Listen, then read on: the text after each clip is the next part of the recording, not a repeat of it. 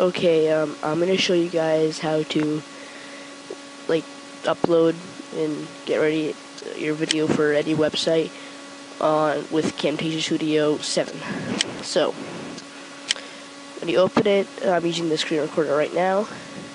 When you're done everything, editing, zooming, and go to File, Produce and Share, or Control P, shortcut, hit it.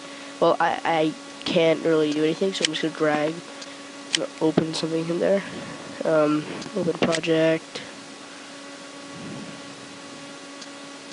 Gonna open up my older video. Just, just gonna put in there. The song is Mount Eden Dubstep Still Alive, an MP3.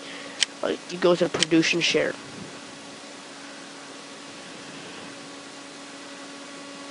You click save for web, hit next, and name it whatever you want to, then finish. I'm not going to finish it, but it's going to start rendering when it's done.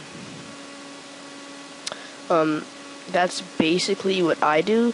I don't know if anyone else has any problems with it, but that's what I do. Um, well, thank you for watching my video, and I hope this helped you in any way possible. Bye.